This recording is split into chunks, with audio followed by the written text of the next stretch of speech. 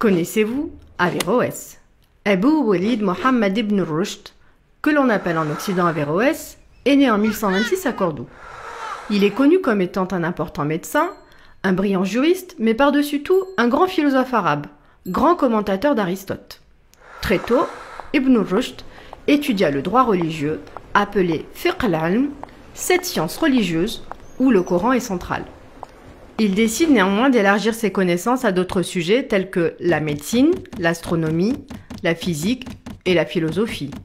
Nous le connaissons pour son kitab al-Kulliyat fi livre de médecine universelle, qui fut traduit en latin sous le titre de Colligé.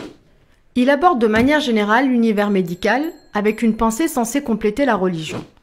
Il écrit justement ceci. Quiconque étudie l'anatomie augmente sa foi dans l'omnipotence et l'unité de Dieu Tout-Puissant. Averroès est davantage un théoricien de la médecine plutôt qu'un praticien. Ibn Rushd est très studieux. Ses études le feront voyager entre l'Andalousie et le Maghreb, unifiés depuis la conquête almoravide. Il fut qadi, juge religieux de Séville, puis grand qadi de Cordoue. Mais c'est en tant que médecin à la cour du calife Abu Yaqub Youssef qu'il écrira à sa demande un ouvrage sur Aristote, qui le rendra célèbre jusqu'à aujourd'hui. Sa pensée est connue pour être novatrice et réformiste. Il privilégie la prévention des crimes plutôt que la répression, ainsi que l'effort de réflexion dans l'interprétation des textes fondateurs de l'islam, les Ses écrits font de lui le philosophe musulman le plus célèbre en Occident entre le XIIe et le XVIIe siècle.